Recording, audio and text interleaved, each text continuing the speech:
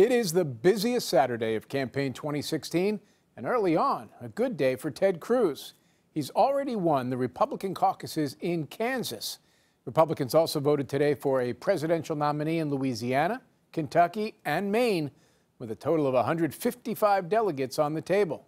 Democrats decided in three states Louisiana, Kansas, and Nebraska, with 109 delegates up for grabs. Julianna Goldman now has the latest from our Washington Bureau. Julianna? Jim, tonight is all about bragging rights. Donald Trump and Hillary Clinton are looking to build on their leads and momentum from Super Tuesday. Rivals are hoping to prove for wins to prove that they have staying power. And Cruz's victory in Kansas means he can keep making the case that he's got the best shot at beating Trump. Is having a lightweight like a Marco Rubio, who's terrible. Republican frontrunner Donald like Trump rallied caucus goers in Kansas and later in Florida. The Republicans are eating their own. They got to be very careful. He predicted big wins tonight, stepping up his digs at Marco Rubio and the establishment Republicans frantically trying to stop him. The way we beat Hillary Clinton in November is we tell the truth with a smile. But the winner in Kansas was Ted Cruz, who stumped there earlier.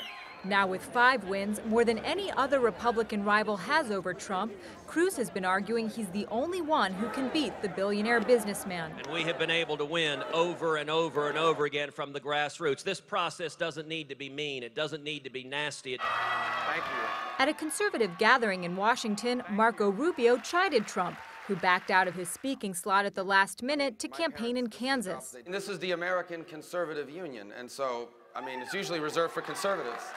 And but with his fate resting on winning his home state on March 15th, the Florida senator headed straight to Jacksonville. The eyes of the nation are upon this great state. I know how to tackle these problems. While Governor John Kasich was in Michigan ahead of Tuesday's primary there.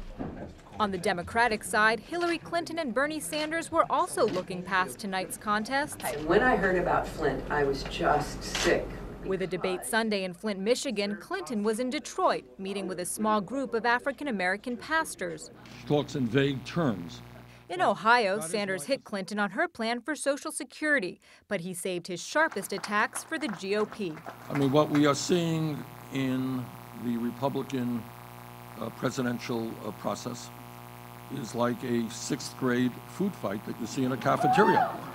Tonight will also be the first chance to see if the Republican establishment's Stop Trump efforts have had any impact. Jim, there's no rest for the weary this weekend. There are more contests on Sunday. Democrats and Republicans hold primaries in Puerto Rico, while Democrats caucus in Maine. Julianna, thank you.